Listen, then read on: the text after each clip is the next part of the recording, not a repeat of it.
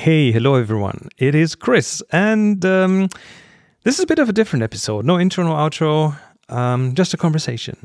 Because this morning I received a message from Henry from a ship far, far away.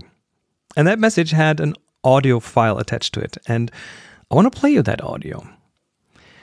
As of recording this, Henry is on a ship as a guide, and every now and then he gets a minute to talk to interesting people. And um, that's what he did. He sat down with his colleague and uh, legendary expedition leader Solan Jensen, and they talked for half an hour about this and about that, about the uh, changes in the polar regions as a, as a global issue, about excursions into the environment, about the climate, about COVID, and about the overall industry. And uh, I found it really delightful to listen to. So you should you should definitely uh, have the chance to listen to it too. Quick warning this won't be our usual sound quality. The recording environment on a ship is always difficult. There's always noise around. It's hard to find a quiet spot. So um, I did what I could to clean this up a bit and make it as enjoyable as possible. Anyway, here we go. Enjoy. All right. Hi, Solan. Welcome to, uh, to our show. Would you mind introducing yourself briefly? Thank you, Henry. Yeah, my name is Solan Jensen, and uh, I work for Quark Expeditions as a currently as an expedition leader and kayak guide, and support uh, the team as best I can in a lot of different facets. And you work um, in the polar regions for a couple of years already. I have been. Yeah, I started in 2003 with the National Science Foundation, and then started working in this industry around 2006 with uh, Peregrine Polar Shipping, and then we merged with Clipper Cruise Lines and Quark all together in the Great Merger. so the the, the, yeah. the, start of everything, basically. Yeah. All right. Um, so you traveled both polar regions, Arctic and Antarctic. Is that right? I have. Yeah, I've been really grateful to be able to do that. When did you came down to Antarctica first? Well, my first time working in Antarctica as a guide was in uh, 2005 6. And I remember our first excursion on the Antarctic Peninsula was Wilhelmina Bay. Oh, nice. Yeah, a light, light snow, and we were on the Akademik Ioffe at the time. And uh, I was working as a kayak guide, and I remember we were out there floating around and starting to gather our people and begin some kind of a, a slow paddle through the snow and ice there. And uh, I'll never forget this. Captain Busconi took the occasion to broadcast some classical music over the VHF radio. it was marvelous. A different time. Uh, yeah, absolutely. I mean, uh, Akademik Ioffe is one of the legendary ships of the first generation almost. Uh, traveling and working in the polar regions uh, for so long, um, do you have experienced some changes that became very obvious in the most recent years post COVID, maybe? Yeah, it's such a good question to think about changes. I think uh, just in the limited historical spectrum that we have, but relative to the history of our industry, it's been this exponential period of growth. You know, these last 15 years that I can speak about. And a couple of things come to mind. I think one of them is the the addition of almost an overabundance of media that people consume about the destination um, prior to arriving. And I guess what I mean by that is this sort of flow of social media. I remember when we first came down, you know, there was a few books right, that you would refer to, the Oceanides Guide, and um, these, the Crystal Desert, you know, a number of different books that you would sort of turn to for reference points, and then, and then you turn to the legends of the industry as well, and and our our guests, our travelers that would come down to visit us, and that we would facilitate these experiences for, they had also spent time reading and thinking about place, creating the imaginary Antarctic in, for themselves, right? And then they would come down and experience it for real, and then those things would blend. And now we have just you know this oversaturation, well, an extreme saturation of you know visual imagery that um, kind of explodes into people's consciousness around what it's like to be here, and I find that that overwhelms the reality of actually being here in, in a really curious way sometimes. And I, I can't say that it uh, behaves in a singular fashion for everyone by any means. Um, but I have noticed, I think, over the years that people have become more impatient, louder, More demanding. yeah, more demanding of, I think, trying to act, actualize the image that they saw. Yeah, it's, Right. it's a little bit like in, in, in the northern hemisphere when you do northern light trips, and people come with this very crisp, clear picture of multicolored northern lights, and then they just see this faint greenish, grayish cloud on the sky, and the guide's telling them that's the northern lights. Like, no, it's not. Totally. And, and that, you know, uh, photography can pick up northern lights better than any human eye anyway. Absolutely. But I think the, the behavior of um, how we consume media and landscapes has just changed so much. And when you remember when uh, Planet Earth, a BBC series, started, that was just like one of those moments when you just like, oh, I want to see those places, I want to go there. And now you see how much more effort they put in there to have those super crisp um, pictures of even more remote places or even more detailed or spending more time there and trying to get the last secret out of that. And when people come down there, they expect this kind of BBC moment on the location when they come there. And that's very that's become very difficult.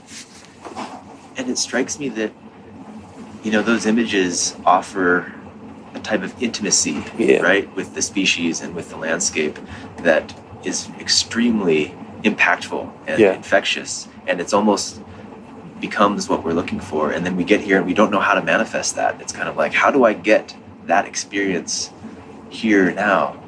And, you know, for me, it's a huge perspective shift for people that we try, I think, to to help um, help people absorb. It's like your binoculars, you know. it's it's like be with them at all times. You know, you can watch an animal's eyelid move through your binoculars and have Yeah. that sort of moment, right?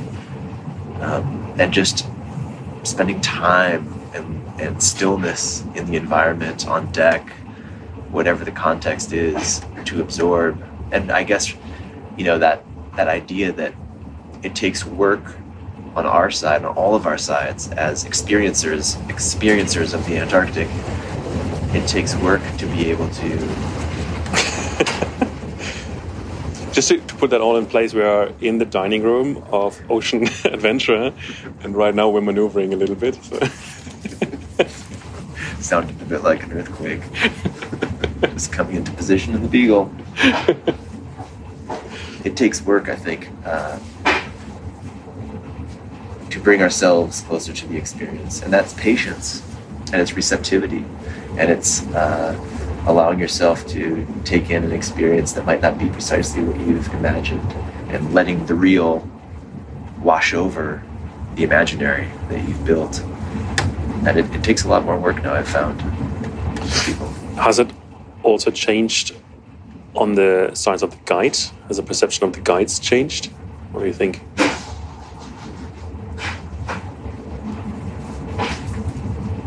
Say more about what you mean. So, for me, when I started working in the industry, I had a feeling of people come down here not only to to be in the destination, but largely to share their passion for the destination, to involve the guests in in the destination, to actually really uh, educate on the ground.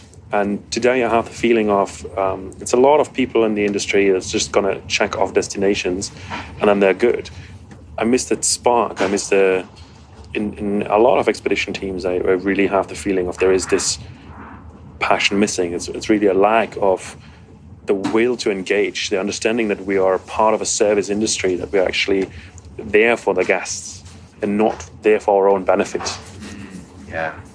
that idea of service, I think, is can be lost quickly. Yeah. I, I think you're absolutely right, and, and serving guests, travelers, and serving the location right as well. It's kind of all all one big thing. You know, we're here serving the polar regions by showcasing it to people that we're serving to show our passions and to bring home safely, and this idea of creating ambassadors, right, or, or people for whom this place is now among the things that they care about enough to mind what they do at home and maybe to even take a further step. But it brings to mind another point about change that I think you described really well the other day during one of our recap and briefings here, which was this idea that the impacts that the polar regions experience are so huge right now, and that the source of many of those impacts are quite distant. And so the you know the tourism industry works extremely hard to minimize our disturbance to wildlife and our impact to the land and you know we could always do better no question about it but our consciousness is on that and uh, it's very easy to forget though that our lifestyle decisions back home quantitatively eventually have just as big a reverberation on the effects of this environment and uh, I find that difficult to bring home to people. You know, how do people really absorb that point? And do you do you have the feeling that changed um, throughout the years, where um, people back home more receptive to that? A bit, a bit more. I feel uh, a bit more careless now. I'm a bit more careless. Yeah, or what's the word? Um,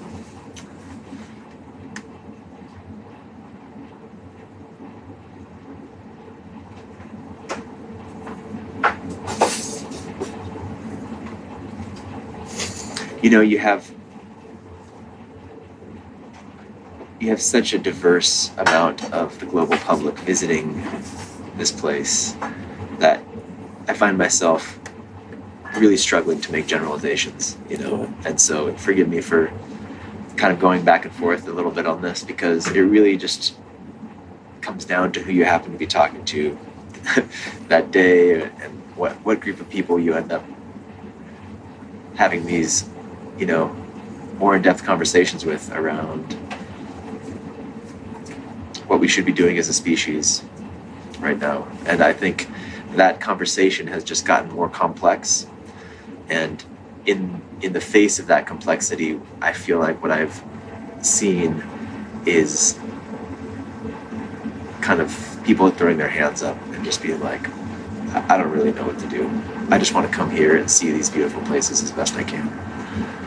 And uh, certainly feel like that's not enough that we can do more And is the development of the industry probably also contradicting that a little bit? Because the core of what we do here is not only bringing the people to the place and showing them the place, but also educating them about the place and try to explain a little bit how everything is linked in the um, yeah in a global context. But with the new ships coming in that try to minimize the footprint, we also get more and more disconnected because the the new ships they you, you don't really feel um, the state of the sea anymore. You don't really feel uh, the nature outside anymore unless you really go to an open deck. And you go to a place, you leave the ship for the first time, go on a Zodiac, and you're completely surprised by the force of nature when suddenly the wind picks up and comes down with 50, 60 knots.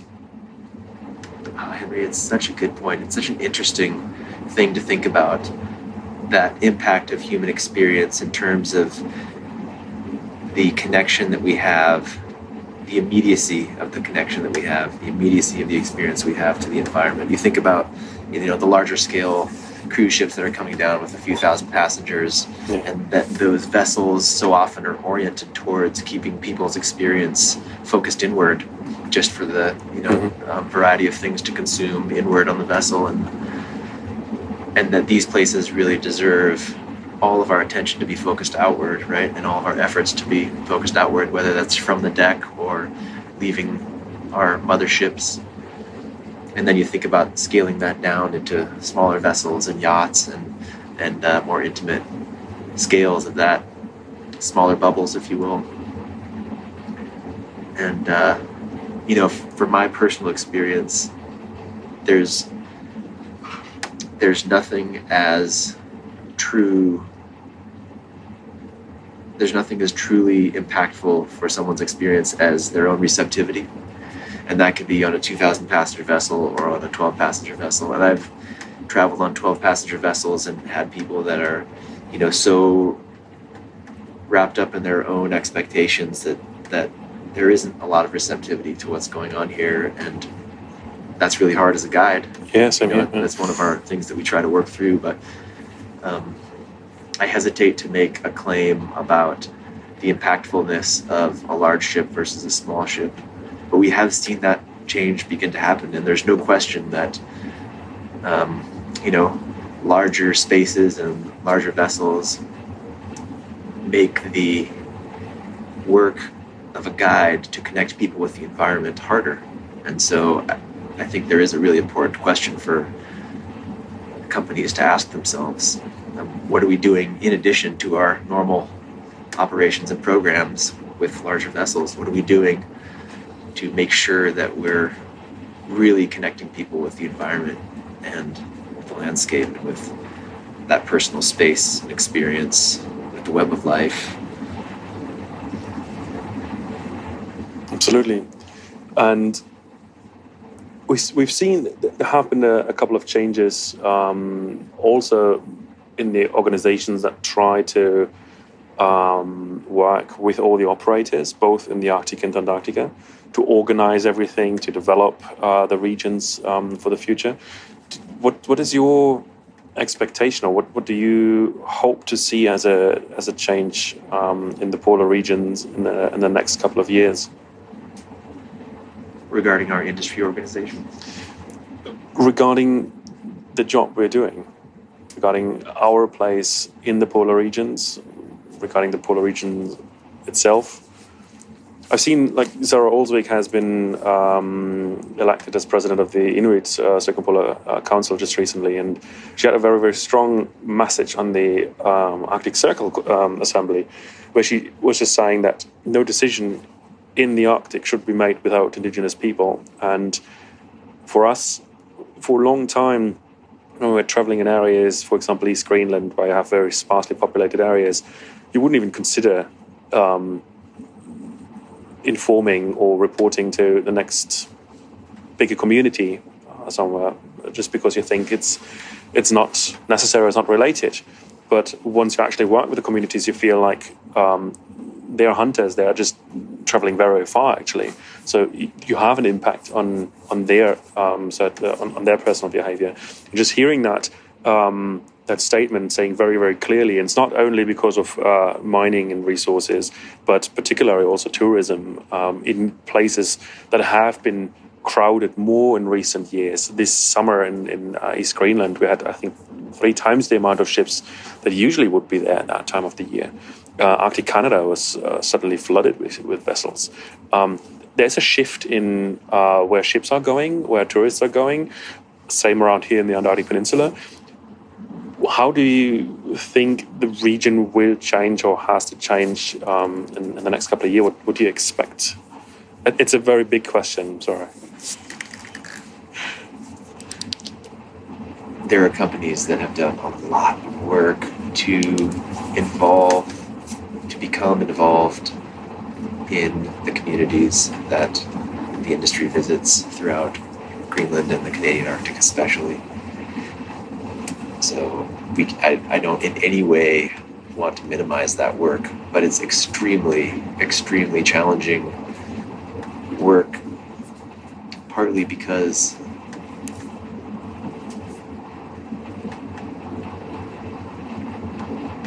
one of the questions that we come with isn't the question of should we or shouldn't we be here so often. And that is a real question.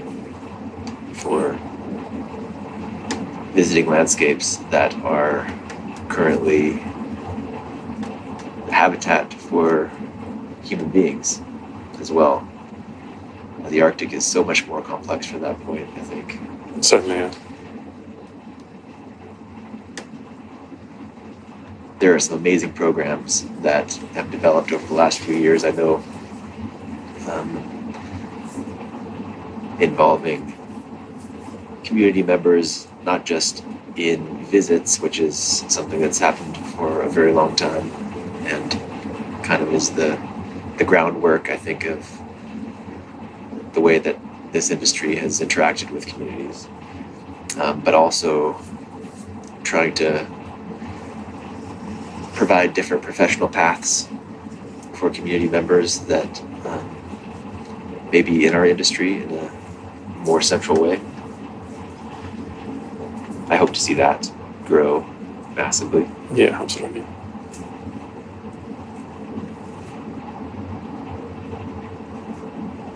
Yeah, and I, I do wonder about having a, a larger scale conversation within our industry about our own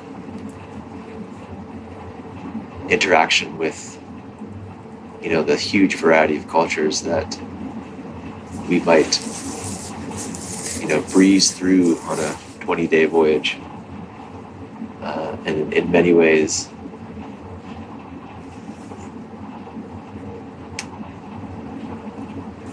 it's their space, it's their land, it's their oceans that we're moving through. And uh, yeah, with the history of how much, let's say, people from the South have taken from the people of the North in the Northern Hemisphere uh, I think the conversations are just beginning, and I'm really glad to see them evolving.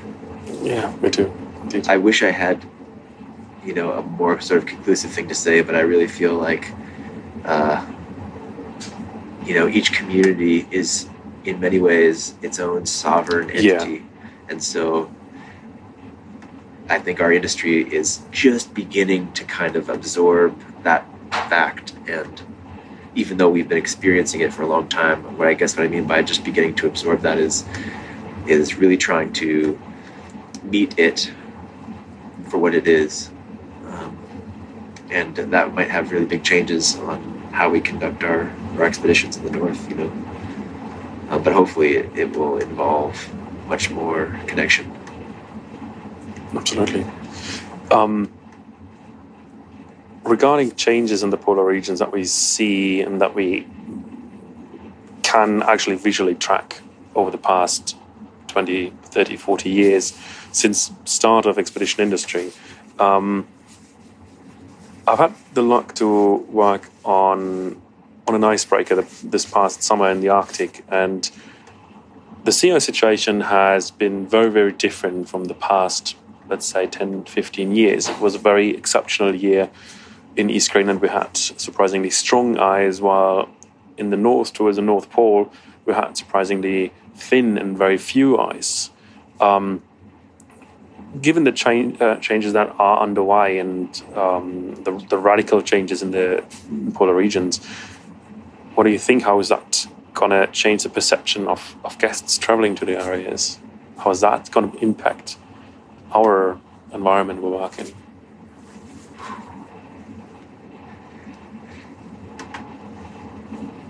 Two things come to mind immediately. One is just this this sensibility around what affects sea ice annually and its larger cycles and what role our industry plays in affecting sea ice. You know, how icebreakers come into space and you know reorganize sea ice. Um, also speaking from experience as well, you know, it, I think it's something we can become much more uh, take much more care and attention in how we approach that. I think that will be a feature of the future Yeah. of our industry with icebreakers, no, no doubt. You know, we'll start treating it as as something that is much more finite, I think, than we tend to treat it right Yes. now. And you know, the fact that it is its own habitat, right? I think, you know, we've certainly always experienced travelers who are coming to the edges of the earth to experience them before they are quote unquote gone or quote unquote you know changed in such a radical way that they've lost some essential intrinsic thing so we, we've experienced that from the beginning i think of, of the industry in some ways. And i'm curious to see how that continues to evolve. I think you know the responsibility is on the industry to show how each year with each destination we are giving more than we're taking. And i think that's very diffuse right now. It's very opaque i'm not sure we can really say that we are doing that clearly um, And it's very difficult from, from company to company, ship to ship. absolutely absolutely and i feel like with sea ice especially that's a huge question that we need to take up I think it's a one part of the environment that's very, very poorly understood still. It's just really something, also in the industry. I really think that uh, within the industry, there's very little knowledge, proper knowledge about sea ice, and that needs to grow much, much more, as that will become uh, a much bigger, I don't want to say playground, but um, workspace, work environment, I think. I think more ships, more new uh, new built ships are built in ice class to play around uh, stronger ice conditions, and at the same time you see those stronger ice conditions retreating. So it's a a very weird development that's um, countering each other. Um, I'm really curious to see how that develops and where it goes to. and, and will we have the discipline to show restraint Yes, absolutely.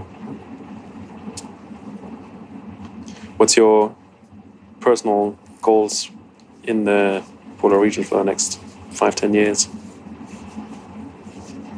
to stay connected to the people that are working here and uh, continue to stay connected to the, the places as well. And I guess for me, what that means is a lot more conversations. Uh, I think I've felt in my in my personal history, I've felt really protective over my experiences and wanting to share as a guide, you know, the day that we have before us. But sort of in terms of the industry, it's taken me a long time to really look outward and feel as though all those other guides are my colleagues and friends, you know, and that we're here ultimately as one team to protect and showcase, bring people back safe. I, personally, I hope to stay as a honestly humble but relevant voice in the industry as we continue to grow and change, and perhaps even experiencing this idea of non-growth, maybe even counter-growth, is our pathway forward. Um, that would be very exciting as well. So I just hope to stay involved, Henry. Me too. Hope to see you along the way. Yeah, I hope to see you along the way as well. You going home tomorrow? Yes. Yeah. You plan of coming back this season? We'll see. I don't have plans currently. I've been so lucky, fortunate to have worked many consecutive seasons back to back to back in the Antarctic and Arctic prior to COVID, of course. And uh, like some of my friends and colleagues, I've experienced over the last couple of years of uncertainty around our professional lives and um, just a moment of pause and reflection that's brought me to a place where I want to just take a step back from field work and uh, but continue to stay involved in the industry. And I'm still trying to figure out what that's going to mean, what my uh, new relationship with the polar regions is going to be. But we'll definitely